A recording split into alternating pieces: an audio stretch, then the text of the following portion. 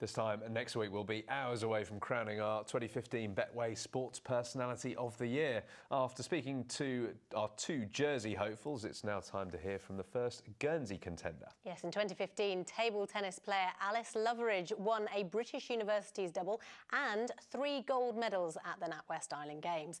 The Sarnian has enjoyed success at every level she's played at and has been reliving the best bits with our sports personality presenter, Rob Jones.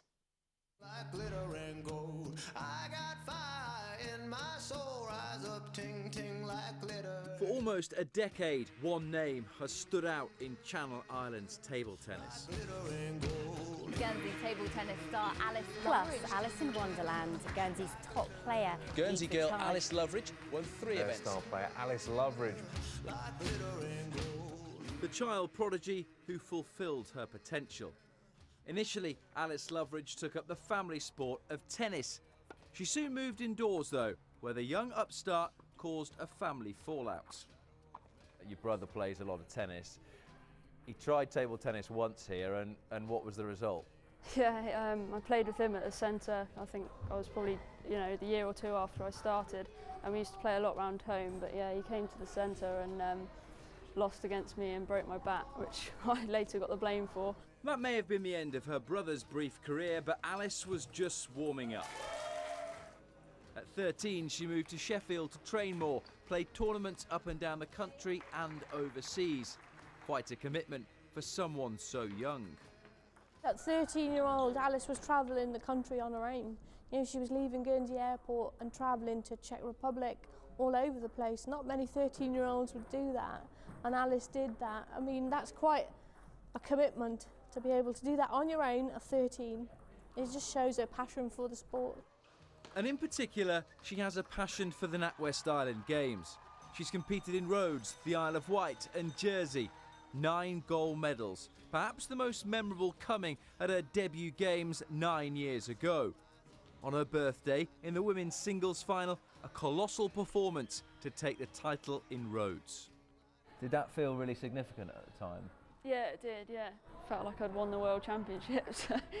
um, yeah, it was my big, I think it was my first sort of big win.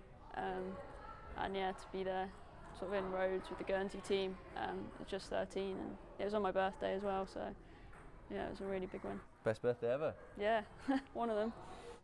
And so to this summer, where she came into the 2015 Games having already won a British Universities double.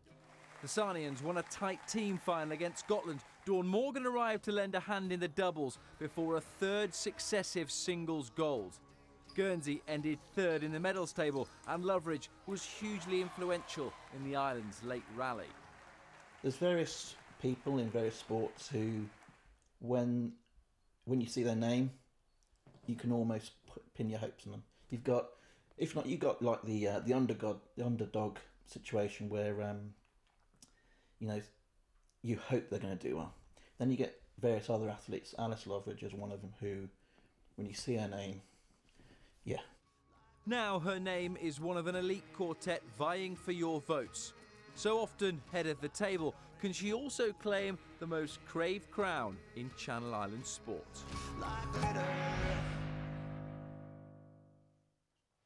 Well, joining us now to talk more about Alice is her doubles partner in Guernsey, Dawn Morgan. And Dawn, you must love playing alongside her.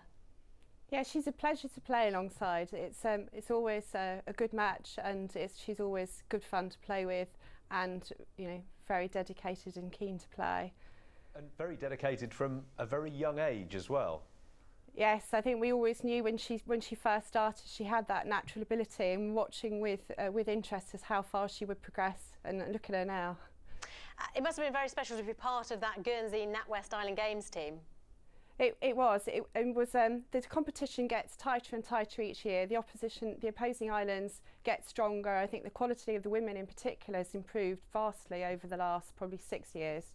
Um, and Alice always manages to step up and, and beat these new rivals. She's had success at pretty much every level she's played at. What makes her such a special player? I think she's got that. Um, she always looks cool, calm, and collected when she's playing. And I think, regardless of, of what the position is in the game, whether she's got a comfortable win or whether she's trailing behind, you could never tell from looking at her you know what's going on in her head. She just knows what she's got to do.